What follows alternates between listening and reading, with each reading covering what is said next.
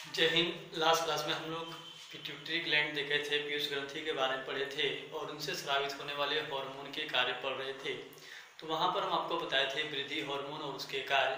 वृद्धि हार्मोन में हम आपको बताए थे कि वृद्धि हार्मोन जो होता है वो शरीर के सामान्य वृद्धि को क्या करता है? नियंत्रित करता है। इसके सिक्रेशन के कारण क्या होता है? शरीर की जो लंबाई होती है, वो उसकी वृद्धि होती है। अब किसी व्यक्ति में वृद्धि हार्मोन कम हो जाए, सामान्य से कम वो सिक्रेट हो रहा हो तो उसमें क्या होता है कि व्यक्ति का जो लंबाई है, वो रुक जाता है और उसको हम लोग बोनापन कहते हैं। या किसी बच्चे में जब वृद्धि हार्मोन की मात्रा बढ़ती है तो उससे उस बच्चे की शरीर का लंबाई क्या होता है? असामान्य रूप से बढ़ता है अस्थियाँ चौड़ी हो जाती है, ठीक है? और उस स्थिति को हम लोग क्या बोलते हैं? जाइंगटीज में बोलते हैं। आज हम लोग को आगे उसी में पढ़ना है नेक्स्ट शेडिंग डालना है।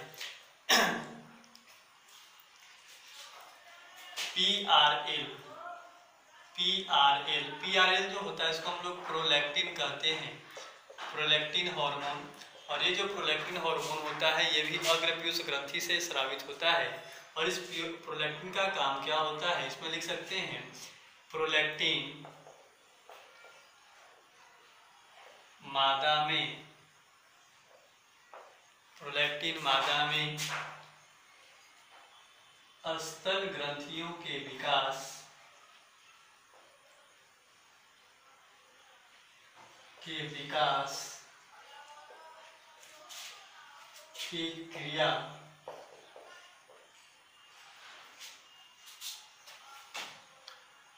को नियंत्रित करती है। नियंत्रित करती है। जो फीमेल होते हैं फीमेल में जो मेमोरी ग्लैंड होता है, उस मेमोरी ग्लैंड के डेवलपमेंट में जो हार्मोन हेल्प करेगा, वो हार्मोन कौन होता है? पीआरएल होता है।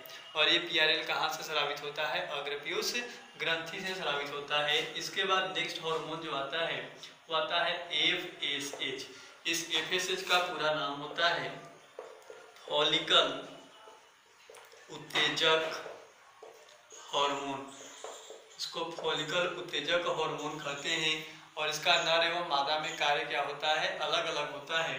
अगर हम लोग नर में देखें तो नर में एफ़ एस एच हॉर्मोन नर में एफ़ एस एच हॉर्मोन शुक्राणु जनन शुक्राणु जनन ये शुक्राणु जो होता है, वो नर युग्मक होता है। शुक्राणु जनन की क्रिया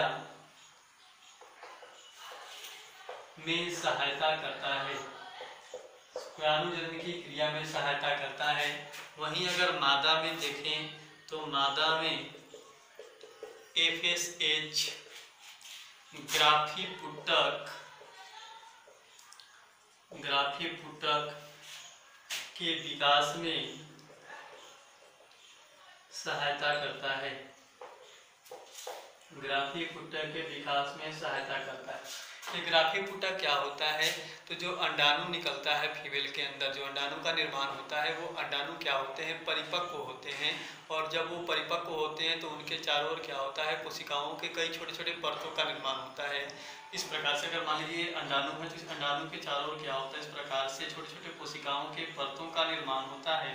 और ये कोशिकाओं के परत युक्त अंडाणु को ही हम लोग क्या बोलते हैं? ग्राफी पुटक बोलते हैं। और इस ग्राफी पुटक के निर्माण में मादा में कौन सहायता करता है? एफ़ सहायता करता है। इसके बाद नेक्स्ट हार्मोन जो आता है, वो आता है एल एच एल एच का पूरा नाम होता है ल्यूटिनाइजिंग ल्यूटिनाइजिंग हार्मोन। ये ल्यूटिनाइजिंग हार्मोन क्या करता है? तो इसका भी नर एवं मादा में जो कार्य है, वो अलग अलग है ल्यूटिनाइजिंग हार्मोन जो होता है, वो नर में क्या करता है? जो नर जनन हार्मोन होता है, एंड्रोजन, जिसको बोलते हैं टेस्टेस्टेरोन उस हार्मोन के संश्लेषण को, सिक्रेशन को क्या करता है? प्रेरित करता है। और ये मादा में क्या करता है? अंडोत्सर्जन की क्रिया में सहायता करता है। मासिक चक्र जो चौदहवा दिन होता है, उस दौरान क्या होता है? मादा में एक अंडाणु अंडाशय से बाहर निकलता है। और अंडाशय से अंडाणु को बाहर निकलने की क्रिया को हम लोग क्या बोलते हैं? अंडोत्सर्जन बोलते हैं। और उस अंडोत्सर्जन में जो सहायता हार्मोन करता है, वो कौन सा करता है? एल करता है लिप्टिनाइजिंग हार्मोन करता है। इसमें लिख सकते हैं, नर में नर में यह या यह क्या? इसमें लिख सकते हैं नर में एल एच नर जनन हार्मोन हार्मोन एंड्रोजन नर जनन हार्मोन एंड्रोजन और इसी एंड्रोजन को हम क्या बोलते हैं? टेस्टेस्टेरॉन के संश्लेषण को के संश्लेषण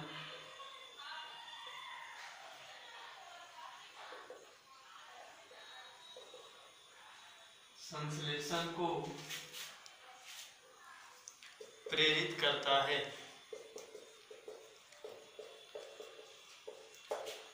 वही मादा में अगर इसका कार्य लिखे तो मादा में एल एच अंडोत्सर्जन अंडोत्सर्जन अंडोत्सर्जन का मतलब अभी बताया, अंडाणु को अंडाशय से बाहर निकलने की क्रिया को अंडोत्सर्जन कहते हैं। तो मादा में इसका जो काम है, वो अंडोत्सर्जन की क्रिया में क्रिया में सहायता करता है। सहायता करता है। इसको नोट कर लीजिए, इसके बाद आगे बढ़ते तो अभी तक हम लोग जो पढ़ रहे थे वो अग्र पीयूष ग्रंथि से स्रावित हार्मोन के कार्य पढ़ रहे थे। हम आपको बताए थे कि पीयूष ग्रंथि के मुख्य रूप से दो भाग होते हैं। एक अग्र पीयूष ग्रंथि होता है और एक कौन होता है? पश्च पीयूष ग्रंथि होता है। तो नेक्स्ट डालेंगे पश्च पीयूष ग्रंथि से स्रावित हार्मोन के कार्य। पश्च पीयूष ग्रंथि से स्रावित हार्मोन के कार्य। पश्च पीयूष ग्रंथि से स्रावित हार्मोन के कार्य। पश्च पीयूष ग्रंथि से दो हार्मोन स्रावित होता है। पहला है ऑक्सीटोसिन ऑक्सीटोसिन ये जो ऑक्सीटोसिन हार्मोन होता है, इसका काम क्या है? ये मादा में बच्चों के जो जन्म होता है, बच्चों के जन्म के समय क्या करता है? सहायता करता है और साथ ही साथ बच्चों के जन्म के बाद जो दुग्ध स्राव की क्रिया होती है, उस क्रिया में ये क्या करता है? उसको नियंत्रित करता है उसको प्रेरित करता है। इसमें लिख सकते हैं ऑक्सीटोसिन में यह मादा में बच्चों के जन्म के समय बच्चों के जन्म के समय सहायता करता है। सहायता करता है तथा दुग्ध ग्रंथियों से, दुग्ध ग्रंथियों से दूध स्राव की क्रिया को प्रेरित करता है। प्रेरित करता है। यह ऑक्सीटोसिन का काम। इसके बाद अगर दूसरा हार्मोन देखें तो यहाँ से एक और हार्मोन होता है इसका नाम है एडीएच एडीएच को बोलते हैं anti diuretic anti diuretic hormone और ये जो एंटी डायूरेटिक हार्मोन है, ये ब्रिक नलिका, जो किडनी का नेफ्रॉन बनाए थे हम लोग, उसी ब्रिक नलिका का जो दुरस्थ कुंडलित भाग होता है, ये संग्रह नलिका और ये जो भाग है, इसको हम लोग दुरस्थ कुंडलित भाग बोलते हैं। तो यहीं पर वो क्या करता है, इस दुरस्थ कुंडलित भाग पर कार्य करता है और जल एवं खनिज के अवशोषण में क्या करता है, सहायता करता है। इसमें लिख सकते हैं एडीएच के कार्य में यह हार्मोन यह हार्मोन ब्रिक के ब्रिक नलिका के ब्रिक नलिका नेफ्रॉन को बोलते हैं। ब्रिक नलिका के दूरस्थ कुंडलित भाग से दूरस्थ कुंडलित भाग से जल एवं खनिज के अवशोषण में, जल एवं खनिज के अवशोषण में सहायता करता है। सहायता करता है। नोट करिए इसको, इसके बाद नेक्स्ट ग्रंथि देखते हैं।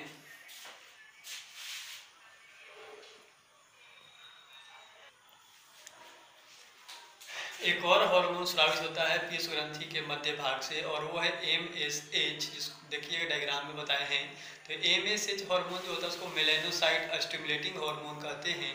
और ये हार्मोन जो होता है वो लोअर वर्ग के, जो निम्न वर्गीय जंतु होते हैं, उनमें मेटाक्रोसिस में सहायता करता है। मेटाक्रोसिस का मतलब होता है वो जिस इन्वायरमेंट में, जिस वातावरण में रह रहे होते हैं, उसी के अनुसार अपने शरीर के कलर को क्या कर लेते हैं चेंज कर लेते हैं, जिससे वो अपने आप को दुश्मनों से सुरक्षित रख सके। ठीक है? तो ये क्या होता है?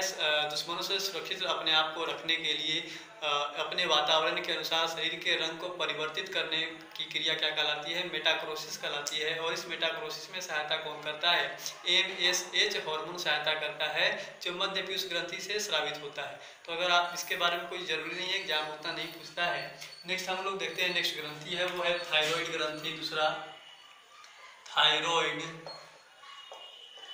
ग्रंथि। ये थायराइड ग्रंथि जो है, ये द्वीप द्विपिंडक संरचना होता है, इस प्रकार से अगर हम डायग्राम बना दें, यहाँ पर थायराइड ग्रंथि का, कि आपका जो है वो श्वास नली है। श्वास नली में ही इस प्रकार से क्या होता है, आपका थायराइड ग्रंथि यहाँ पर मौजूद होता है। ये वास्तविक डायग्राम नहीं है, सिर्फ़ समझने के लिए बना रहे हैं। तो इस प्रकार से क्या होता है, यहाँ पर ये द्विपिंडक संरचना, ये जो है, इसी द्विपिंडक संरचना को हम लोग क्या कहते हैं, थायराइड ग्रंथि कहते हैं। और इस थायराइड ग्रंथि से क्या होता है? थायरोक्सिन हार्मोन स्रावित होता है। इसको हम लोग लिख सकते हैं, ये जो है वो थायरॉइड ग्रंथि है। और ये थायराइड ग्रंथि के दोनों पाली जो होते हैं, वो आपस में इस उत्तक द्वारा जुड़े होते हैं और ये उत्तक जो थायराइड ग्रंथि के दोनों पालियों को जोड़ने का काम करता है, इसको हम लोग स्थमस कहते हैं। और ये जो है, इसको हम लोग क्या बोला है? ये श्वास नली है। श्वास, नली। तो थायराइड ग्रंथि क्या होता है? द्विपिंडक संरचना होता है, दो पालियों में बटा हुआ संरचना होता है, जो श्वास नली में लैरिंग्स लैरिंग्स जो हमारा साउंड बॉक्स होता है वॉइस बॉक्स होता है, उस लैरिंग्स के ठीक नीचे क्या होता है ये मौजूद होते हैं। और थायराइड ग्रंथि के दोनों पिंड जो होते हैं, वो आपस में किससे जुड़े हुए होते हैं? स्थमस से जुड़े हुए होते हैं, इसमें लिखेंगे थायराइड ग्रंथि क्या होगा? यह द्विपिंडक संरचना, द्विपिंडक संरचना है, जो श्वास नली में, जो श्वास नली में लैरिंग्स लैरिंग्स जो होता है, वो स्वर यंत्र को कहते हैं। लैरिंग्स के ठीक नीचे मौजूद होता है, मौजूद होता है। इसी में लिखेंगे, थायराइड ग्रंथि के दोनों पिंड। थायरॉइड ग्रंथि के दोनों पिंड आपस में किससे जुड़े हुए होते हैं? स्थमस से। स्थमस द्वारा। स्थमस द्वारा जुड़े होते हैं। आपस में स्थमस द्वारा क्या होते हैं? जुड़े हुए होते हैं। अब अगर बात करें कि थायराइड ग्रंथि से कौन सा हार्मोन स्रावित होता है तो थायराइड ग्रंथि से थायरोक्सिन हार्मोन स्रावित होता है। और इस थायरोक्सिन हार्मोन की कमी के कारण क्या होता है? घेंघा रोग होता है। ये एग्ज़ाम में आपके बार बार पूछता है। इसमें लिख सकते हैं, थायराइड ग्रंथि से, थायराइड ग्रंथि से थायरोक्सिन हार्मोन स्रावित होता है, जिसके कमी के कारण, जिसके कमी के कारण घेंघा रोग, ग्वाइटर इसको बोलते हैं। ग्वाइटर रोग होता है। इक्वाइटर क्या होता है? जब हमारे शरीर में आयोडीन की कमी हो जाती है तो उस स्थिति में थायरोक्सिन हार्मोन कम मात्रा में बनता है। और थायरोक्सिन हार्मोन कम मात्रा में बनता है तो उसकी मात्रा को बढ़ाने के लिए हम लोगों का थायराइड ग्रंथि जो यहाँ पर मौजूद है, वो थायराइड ग्रंथि क्या करता है? अपना आकार बढ़ाना शुरू करता है। और जब वो अपना आकार बढ़ाना शुरू करता है तो इस प्रकार से मास लाइक स्ट्रक्चर यहाँ पर क्या हो जाता है? मौजूद हो जाता है, बन जाता है। और उसी को हम लोग क्या बोलते हैं? ग्वाइटर बोलते हैं। तो एग्ज़ाम में पूछता है दो क्वेश्चन कि ग्वाइटर जो है, या घेंगा जो है, वो कौन से हार्मोन की कमी के कारण होता है तो कौन से हार्मोन की कमी कारण हो रहा है? थायरोक्सिन हार्मोन की कमी के कारण हो रहा है। और दूसरा क्वेश्चन पूछता है कि थायरोक्सिन हार्मोन के संश्लेषण के लिए किस तत्व की आवश्यकता होती है? तो आयोडीन की आवश्यकता होती है। तो नीचे लिखेंगे। एक पॉइंट और। थायरोक्सिन निर्माण के लिए थायरोक्सिन निर्माण के लिए आयोडीन थायरोक्सिन निर्माण के लिए आयोडीन की आवश्यकता होती है। आयोडीन की आवश्यकता होती है। अब इसके बाद ये तो जो एग्ज़ाम में पूछने वाले थे वो बता दिए। इसके बाद इसके कार्य हम लोग पढ़ेंगे। तो पहले आप इसको नोट करिए। इसको बना लेना है डायग्राम को और इसको नोट कर लीजिए। इसमें घेंघा और थायोसिन को अंडरलाइन कर लेना है और इसमें आयोडीन को अंडरलाइन कर लेना है। इसको नोट करिए। इसके बाद इसके कार्य देखते हैं। हेडिंग डालेंगे थायरोक्सिन के कार्य। थायरोक्सिन के कार्य। थायरोक्सिन कहाँ स्रावित होता है? थायराइड ग्रंथि से तो इसके कार्य जानना है। तो पहला काम होता है यह B M R B M R क्या होता है? इसका पूरा नाम होता है बेसल मेटाबॉलिक रेट को नियंत्रित करता है। नियंत्रित करता है। मेटाबॉलिक में रेट क्या होता है? अमाउंट ऑफ़ कैलोरी कंजप्शन हमारा शरीर किसी काम को करने के लिए कितना मात्रा में ऊर्जा का उपयोग करता है? उस ऊर्जा के उपयोग के मात्रा को नियंत्रित करने की क्रिया को हम लोग क्या बोलते हैं? बीएमआर और इस बीएमआर को नियंत्रित करने का काम कौन करता है? थायरोक्सिन हार्मोन करता है। दूसरा काम होता है, यह कार्बोहाइड्रेट कार्बोहाइड्रेट वसा एवं प्रोटीन के उपापचयन में उपापचयन में सहायता करता है। सहायता करता है। ये कार्बोहाइड्रेट और प्रोटीन के उपापचयन का मतलब होता है उनके अपघटन में, उनके निर्माण में, ठीक है? निर्माण या उनका अपघटन हो रहा है, उनका संश्लेषण हो रहा है या उनका वो टूट रहे हैं तो उसको हम लोग क्या बोलेंगे? उपापचयन बोलेंगे और उस उपापचयन में सहायता कौन करता है यह थायरोक्सिन हार्मोन करता है। नेक्स्ट पॉइंट लिख सकते हैं, यह रक्त में ग्लूकोज ये इंपॉर्टेंट लाइन है। रक्त में ग्लूकोज के स्तर को बढ़ाता है। और रक्त में ग्लूकोज के स्तर को बढ़ा रहा है, इसीलिए इसको डायबिटोजेनिक हार्मोन कहते हैं। डायबिटोजेनिक का मतलब इससे क्या होता है? अगर ये ग्लूकोज के स्तर को बढ़ाएगा तो उसे डायबिटीज़ होने का संभावना रहता है। इसीलिए इस हार्मोन को हम लोग क्या बोलते हैं? Diabetogenic hormone. क्यों? क्योंकि ये रक्त में ग्लूकोज के स्तर को क्या करता है? बढ़ाता है। नेक्स्ट पॉइंट देख सकते हैं। यह आरबीसी के निर्माण में, आरबीसी जो होता है, वो लाल रक्त कोशिका है और उस आरबीसी के निर्माण में क्या करता है? सहायता करता है। सहायता करता है। आरबीसी के निर्माण में सहायता करता है। इसके कई काम होते हैं। ये शारीरिक एवं मानसिक विकास में भी क्या करता है? सहायता करता है। इसके बाद नेक्स्ट अगर लास्ट पॉइंट देखिए हम लोग तो यह मेटामोरफोसिस मेटामोरफोसिस मेटामोरफोसिस का हिंदी होता है कयांतरण। कयांतरण की क्रिया में सहायता करता है। ये कयांतरण क्या होता है? जो मेढक का लार्वा टेडपोल लार्वा होता है तो उसका जो पूंछ होता है, लेकिन जब वो लार्वा व्यस्क में बदलता है तो उसका पूंछ गायब हो जाता है।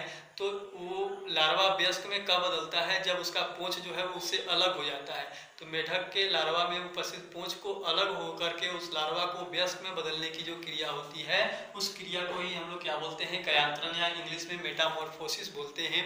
और उस क्रिया में कौन सा हार्मोन सहायता करता है? थायरोक्सिन हार्मोन सहायता करता है। यहाँ से क्वेश्चन पूछा जाता है कि अगर किसी मेढक से थायराइड जो टेरिपोल लार्वा है उसके थायराइड ग्रंथि को क्या कर दिया जाए रिमूव कर दिया जाए, हटा दिया जाए तो उसमें कौन सी क्रिया नहीं होगी? तो जो लार्वा है वो व्यस्क में नहीं बदलेगा। क्यों नहीं बदलेगा? क्योंकि कयांतरण की क्रिया उसमें नहीं होगी। तो ये थायरोसिन हार्मोन के कार्य हैं, इसको क्या कर लीजिए? नोट कर लीजिए।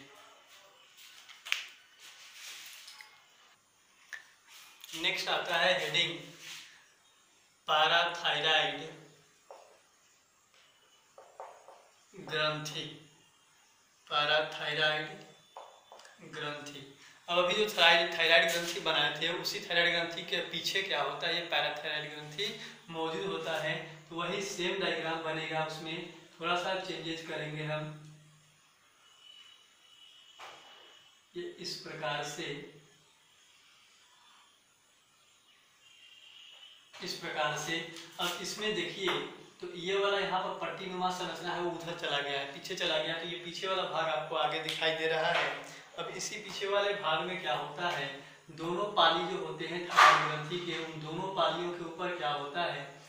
एक एक जोड़ा पैराथायराइड ग्रंथि मौजूद होता है। ये जो चार के चार यहाँ पर जो संरचना आपको दिखाई दे रहे हैं गोल गोल स्ट्रक्चर जो बनाए हैं, ये कौन सा ग्रंथि है? पैराथायराइड ग्रंथि है। पैराथायराइड ग्रंथि। तो अगर आपसे पूछे कि पैराथायराइड ग्रंथि की संख्या कितनी होती है, चार होती है, दोनों पालियों, थायराइड ग्रंथि के दोनों पालियों पर वो कितने होते हैं, उनकी संख्या दो दो होती है। और अगर हम लोग इसको देखा जाए तो पैराथायराइड ग्रंथि जो होता है, ये भी पालिक तो ग्रंथि है मटर के समान दिखाई देता है। यहाँ पर लिख सकते हैं कि यह मटर के समान पाली युक्त पाली युक्त का मतलब होता है लोभ में बटा हुआ। पाली युक्त ग्रंथि है, जो थायराइड ग्रंथि के, जो थायराइड ग्रंथि के ठीक पीछे, थायराइड ग्रंथि के पीछे मौजूद होता लिख सकते हैं। थायराइड ग्रंथि के पीछे मौजूद होता है। थायराइड ग्रंथि के पीछे मौजूद होता है। अब यहाँ से एक हार्मोन स्रावित होता है, उसका नाम है पैराथायराइड हार्मोन। तो और उस हार्मोन का काम है, वो हमारे शरीर में कैल्शियम के स्तर को क्या करता है? नियंत्रित करता है, उसके स्तर को बढ़ाने का काम करता है। हम लोग शरीर में कैल्शियम जो हड्डियों में होते हैं, दांतों में होता है, ये जो कैल्शियम होता है, उस कैल्शियम के स्तर को बढ़ाने का जो काम करता है, वो कौन सा हार्मोन करता है? Parathyroid hormone. और वो पैराथायराइड हार्मोन कहाँ से सिक्रेट होता है? पैराथायराइड ग्रंथि से। इसमें लिख सकते हैं। पैराथायराइड ग्रंथि से। पैराथायराइड हार्मोन, जिसको शॉर्ट में हम लोग पी टी एच कहते हैं, स्रावित होता है। स्रावित होता है, जो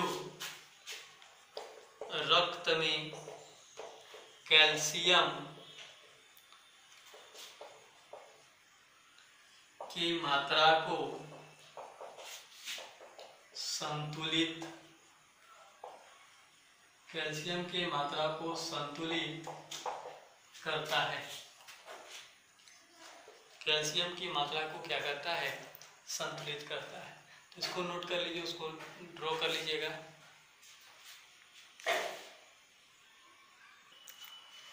नेक्स्ट ग्रंथि आता है एड्रिनल ग्रंथि। एड्रिनल ग्रंथि, या इसको बोलते हैं अधिवृक ग्रंथि भी कहते हैं। अधिवृक ग्रंथि क्यों कहते हैं यह है किडनी। और किडनी जो होता है, किडनी का जो ऊपरी भाग होता है अग्र भाग जो होता है, उसी भाग में त्रिभुजाकार ग्रंथि मौजूद होता है। और इस त्रिभुजाकार ग्रंथि को ही हम लोग क्या करते हैं? एड्रिनल एड्रिनल ग्रंथि कहते हैं। ये एड्रिनल ग्रंथि क्या होता है? इसमें लिख सकते हैं, प्रत्येक ब्रिक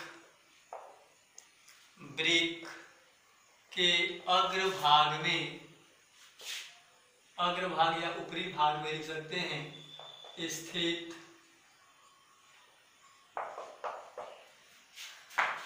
ग्रंथि ग्रंथि को एड्रिनल ग्रंथि कहते हैं। एड्रिनल ग्रंथि कहते हैं। इसी में लिखिएगा, इसके दो भाग होते हैं। इसके दो भाग होते हैं। पहला भाग जो होता है, उसको बोलते हैं कॉर्टेक्स। और ये जो कॉर्टेक्स होता है, ये बाहरी भाग होता है। और दूसरा जो भाग होता है, वो होता है मेडुला। ये आंतरिक भाग होता है। आंतरिक भाग।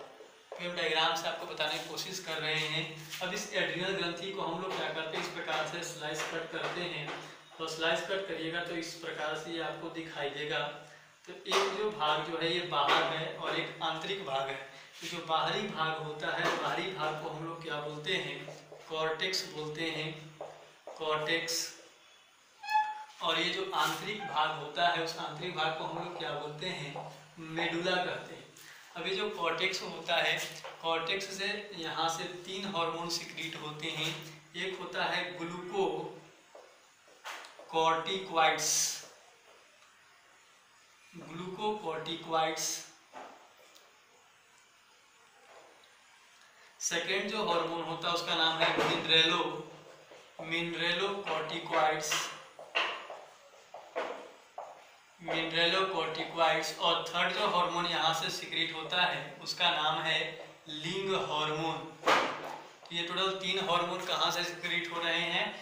एथिब्रिक ग्रंथि जो एड्रिनल ग्रंथि है, उसके कॉर्टेक्स से, जबकि मेडुला जो होता है मेडुला से दो हार्मोन सिक्रेट होता है। एक होता है एड्रीनेलिन एड्रीनेलिन क्या इसी को बोलते हैं एपीनेफ्रिन ये सब किताब में दिया हुआ है। एड्रीनेलिन या एपीनेफ्रिन और दूसरा हार्मोन जो यहाँ सिक्रेट होता है उसका नाम है नॉर एड्रीनेलिन नॉर एड्रीनेलिन या इसी को बोलते हैं नॉर एपीनेफ्रिन नॉर एपीनेफ्रिन ये दो हार्मोन कहाँ से सिक्रेट हो रहे हैं? मेडुला से और तीन हार्मोन कहाँ से सिक्रेट हो रहे हैं? कॉर्टेक्स से। तो ये एडिनल ग्रंथि क्या होता है? सिंथासा कि किडनी जो होता है किडनी के अग्र भाग में इस ग्रंथि को हम लोग एड्रिनल ग्रंथि कहते हैं। इसके दो भाग होते हैं। बाहरी भाग कॉर्टेक्स होता है और आंतरिक भाग मेडुला कॉर्टेक्स से तीन हार्मोन सिक्रेट होता है ग्लूकोकोर्टिक्वाइड्स मिनरलोकोर्टिक्वाइड्स और लिंग हार्मोन और मेडुला से दो हार्मोन सिक्रेट होता है एड्रिनलिन और नॉर एड्रिनलिन एड्रिनलिन का नाम होता है एपीनेफ्रिन और नॉर एड्रिनलिन का एक और नाम होता है नॉर एपीनेफ्रिन तो इसको भी आप क्या कर लीजिए नोट कर लीजिए, ऐसे ही बना लेना है।